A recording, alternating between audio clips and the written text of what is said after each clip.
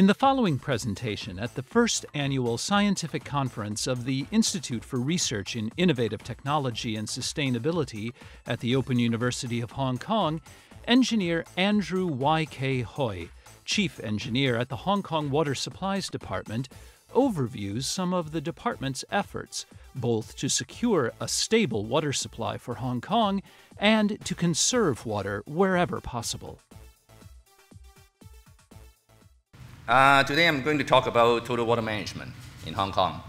In particular, I'm going to talk about the supply side management, how Hong Kong is moving from its current three tap, three water resources situation to a six tap scenario. Uh, when we talk about water resources in Hong Kong, we have to revisit how Hong Kong has developed over the last uh, 165 years. And then I'm going to talk a little bit about the overall strategy that we're using right now, uh, how we're transforming from three taps to six taps, and a very small conclusion. I'm trying to do this uh, a little bit light. There are no hard facts or hard figures in here. I'm just going to give a conceptual uh, presentation here. All of us, I think, in Hong Kong must be familiar with these pictures, these scenarios. Uh, that year was 1963 between 1963 and 1964, for a whole year, we have water rationing, four hours for every four days. Nowadays, I mean, I, I work on water supply operation. If you try to stop water supply for four hours, you'll be dead. I mean, phone calls will be coming in and everything. So we have gone a long way from a water deprived city to a reliable water supply city right now. So let's go over what we have done over the, uh, the years. Uh, starting from the first well that we sunk in Hong Kong, 1851, we have moved from um, to the first uh, reservoir, 1863, and then in the 1957, uh, in the 50s, we have uh, started using seawater for flushing. Uh, right now, I think using seawater for flushing is, um, Hong Kong is a very unique city in doing that to such an extent.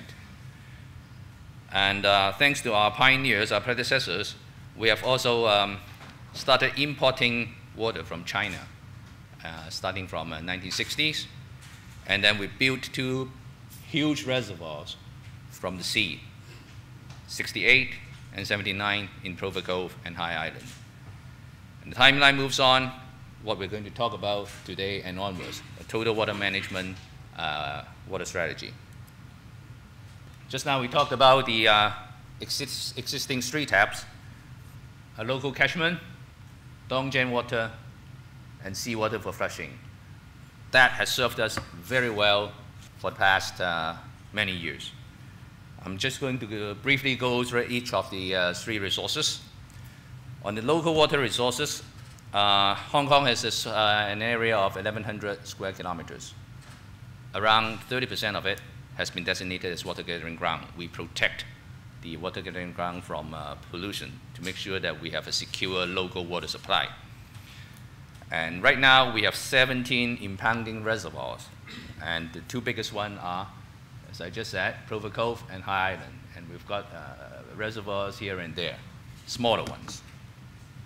The uh, rainfall uh, average local yield in Hong Kong is about 295 million cubic meters a year, but it fluctuates.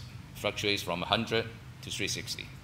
So the, you can imagine that if we solely rely on the local yield, we may run into problems. And Dongjiang water that we started to import from uh, 1960s, right now the annual current ceiling is uh, 820 million cubic meters.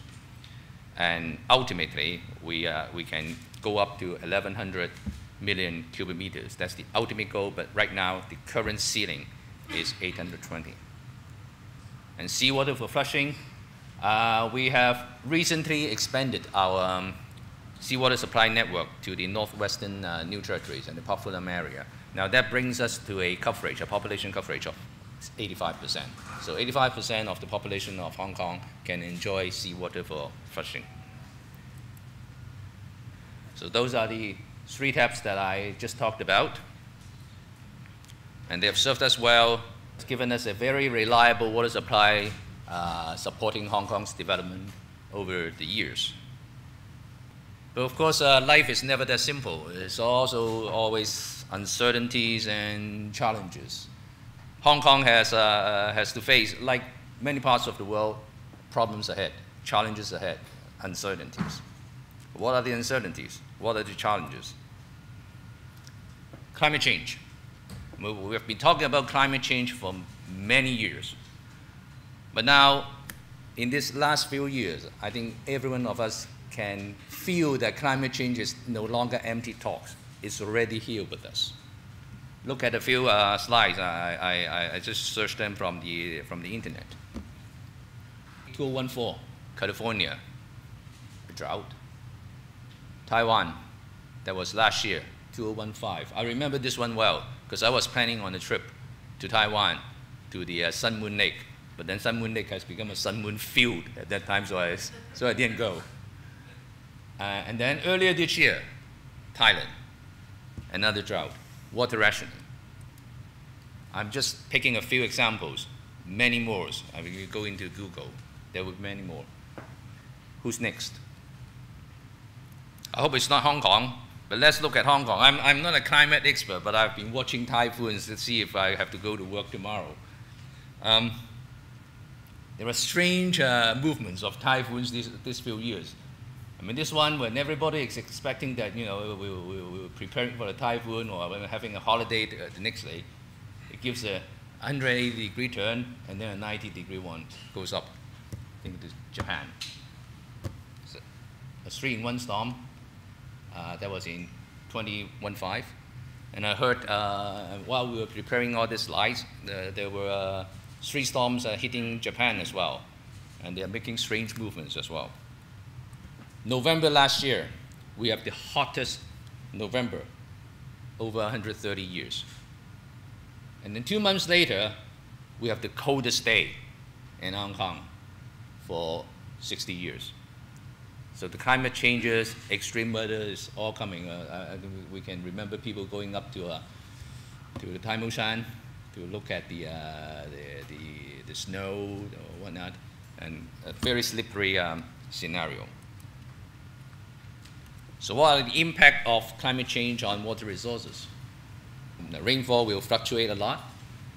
Uh, there will be extreme rainfall or extreme droughts. Temperature will go up, temperature goes up means you have more water loss from evaporation, from evapotranspiration. Uh, people may consume more water, air conditioning uh, have to go up. Those kind of demand side and supply side impact as well. And one thing that we have to uh, uh consider seriously is that if there is a climate change that affects Hong Kong, it may also affect the Dongjiang River region. Now, if both regions are affected, then our local supply and Dongjiang, we imported water from Dongjiang may be affected as well. So we have to consider that. So the uh, various challenges apart from climate change, uh, we have to face increasing water demand arising from economic and population growth. Uh, there is also many other cities along the, uh, depending on uh, Dongjiang water for their livelihood. I mean, these cities have their own economic and population growth, and so there, there, there is a huge demand for, uh, for water, for Dongjiang water. So back in 2008, Water Supplies Department has come up with a total water management um, strategy. There are many reports on, arising from that strategy, but um, the, the concept can be summarized in uh, three points. Be prepared for uncertainties, be prepared for challenges. We may be okay right now, we may have been okay for many, many years, but things uh, should not be taken for granted. In water supplies management, uh, there, there are uh, basically two methods, that you, two approaches. You either con contain your demand or you increase your supply. But we place a priority on that. We'll put water conservation goes first. At the same time, we should also look for new water resources. The strategy was promulgated in 2008, and uh, things have been changing, and we, are, we have started review on the strategy um, in October 2014, and that review is ongoing. On the water supply side, the three water taps that we just looked at, we are moving to a six water tap situation by adding three climate change proof uh, water resources desalination water, reclaimed water, rainwater harvesting, and greywater reuse. I'll go through them briefly. Desalination. Uh, actually, Hong Kong had a desalination plant way back, 1975, but that was using uh, another technology, distillation. Uh, was expensive, consumes a lot of energy, and it was later on uh, decommissioned. Time goes by, um, technology improves, and there, uh, there, there is now the reverse osmosis uh, technology that consumes less energy. And Water Supplies Department has actually done some pilot testing back in uh, 2007 to prove that the um, reverse osmosis technology is suitable, is technically feasible for uh, producing potable water in Hong Kong. So we have uh, started to uh, do environmental impact assessment, finding sites, and we've found the site in Tseung Kwan O area 137. And um, design is now in progress for uh, 50 MCM plant. And we are also going to build in some capacity, making provisions for future expansion to 100 MCM. That would cater for about 5 to 10% of Hong Kong's uh, freshwater demand. Reclaimed water. Well, I'm actually putting reclaimed water and gray water um, on this slide here. Uh, in a typical household, we have the um, what we call black water, the sewage coming from your toilets, and it goes to a wastewater treatment. What we're doing is instead of um, discharging the uh, treated wastewater to the sea, we are adding some value to that uh, wastewater by uh, hypochlorination and then reusing that water for toilet flushing other non-potable use. And on the other side, the, the one in uh, yellow is gray water, where the water comes from your shower, from your, from your sinks, and whatnot. You collect them, you treat them, can be used for non-potable purpose as well. Likewise, we do rainwater harvesting, collect rainwater from the roofs, goes to the downpipe treatment, goes back up for um, non-potable use, toilet flushing, for example. Uh, and in Hong Kong, again, we have done um, pilot studies uh, a few years back. And right now, we are doing a financial and legal framework study on the use of reclaimed water. Uh, design of the infrastructure uh, is in progress, and we hope to, to be able to commence construction later on this year or early next year. And the idea is to start to supply reclaimed water, starting with Sheung Shui and Fanling in the northern uh, New Territories in 2022. And that will save around 21 MCM of uh, fresh water upon full commissioning. Rainwater harvesting system, uh, government has been taking a leading role in uh, the use of uh, rainwater harvesting systems. Um, right now, there are over 60 government buildings or schools are using rainwater harvesting. And um, if anyone of you are familiar with the government structure in Hong Kong, um, we have Drainage Services Department who looks after flooding, flood water. And we have Water Supplies Department, the one that I work in. Uh, we supply water. There is synergy between the two of us. Uh, they hate water, we love water. So the, the two of us makes uh, perfect partners. Um, they are doing a uh, huge stormwater storage tank in Happy Valley under the racecourse, collecting, um, intercepting the upstream flood water uh, to prevent flood. But then at the same time, the stored water can be used for uh, non-potable purpose, irrigation or toilet flushing. Inter-reservoir transfer scheme is another big one. Uh, we have a group of small reservoirs in Kowloon. Now, because those reservoirs are small, they are susceptible to overflow under heavy rainfall and the downstream drainage mechanism uh, may not have the capacity to, to deal with it. So what we're going to do is we will build a tunnel from um, this small reservoir to a bigger one. So that we can catch any possibility, we will reduce the likelihood of overflow, and at the same time, we will prevent uh, flooding on the downstream side. So this one is uh, under design review at the moment. So just to recap, our existing three water resources, adding three, supporting the growth of Hong Kong and sustainable development of Hong Kong. Now that is the supply side. I mean, I'm supposed to talk about from three taps to six taps. But then when I got to that point, I think uh, water resources management can never be complete without water conservation.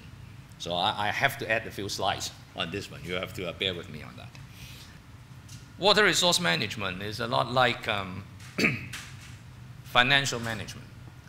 My wife keeps telling me, don't spend too much. A dollar saved is a dollar gained. Well, the same concept applies to uh, here, water resources. You save a drop of water, it's like you're gaining a drop of water. In fact, I would say that droplet saved is more than a droplet gain because when you have to do that, when you have to gain that droplet, a lot of work has to be put in. Resources have to be consumed. And if you can save that drop of water, you're not just saving that drop of water, you are also saving uh, the associated resources uh, in, in producing that drop of water. So what I say is a droplet saved is more than a droplet gained. Water Supplies Department has been doing a lot of work on uh, water conservation, a multi-pronged approach, software and hardware measures. In the school year of 2015, we have started the Cherish Water Campus. Uh, right now, we have got uh, over 170 primary schools joining us. And the idea is to help these students put theory into practice. Uh, we are giving them the, uh, the knowledge and also encouraging them to put that into practice. We have launched a Let's Save 10 Liter of Water in the community. And we have built a Water Resources Education Center in um, our office in Mong Kok. That was a small one, can accommodate a limited number of visitors. Last year, we had uh, 16,000 visitors um, to the center. But now we are also planning on building a new one in our new office in Tin Shui Wai and uh, that would have a larger area, would have more enriched contents, and can cater for a wider range of um, audiences, uh, visitors. On the trade side, we are cooperating with the hotel and catering industry uh, to do some best practice guidelines, how they can save water in their everyday uh, business. And with government departments, uh, parks, in uh, markets, how they're going to save water. On the hardware side, we're doing a lot of um, water efficiency labeling scheme. We have put that in. And we have also done uh, replacement and rehabilitation of water mains. And this is a new terminology, uh, which I'm going to go into. Uh, this is on the hardware side. I think all of you may have noticed that we have been doing some replacement work, uh, water main replacement work over the last 15 years we have replaced uh, 3,000 kilometers of aged water pipes. How much is uh, 3,000 kilometers? I mean, if we fly here, from here to Shanghai, it's uh, 1,250. So if you do it round trip, it's 2,500. Still less than 3,000 uh, kilometers. So it's a lot.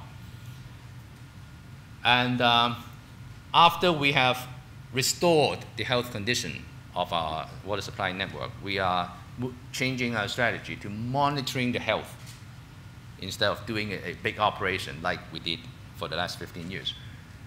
We have divided um, our water supply network into 2,000 smaller areas and putting in um, intelligent sensors that can monitor the um, water pressure, water flow, and feedback to our control stations. They will then decide on the priority of what kind of remedial works is required, whether we have to go for immediate repair, whether we should reduce pressure and whatnot. So this is the, um, the strategy that we are moving on in um, monitoring the health of our water supply network. We call that uh, WIN, Water Intelligent Network. For those of you who may notice, there is another wheel in here. We talked about software, we talked about hardware. What then is the other one?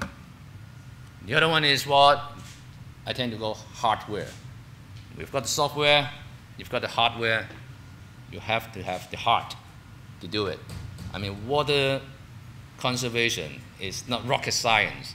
I mean, it's, it can all boil down to a simple change in habit. You take a shorter shower, um, uh, you, you don't run your water taps running. It's as simple as that. But you have to have the heart to do it. And we, if we all have the heart to do it, then we're going to save a lot of water. This is what we've been talking with colleagues. There were four A's in uh, water conservation. Four A's. Awareness. You have to know the subject. You have to know the water resource is scarce. You have to know how you can help to conserve water. Alignment. You have to agree. You have to buy in. Action. You have to translate your knowledge into action.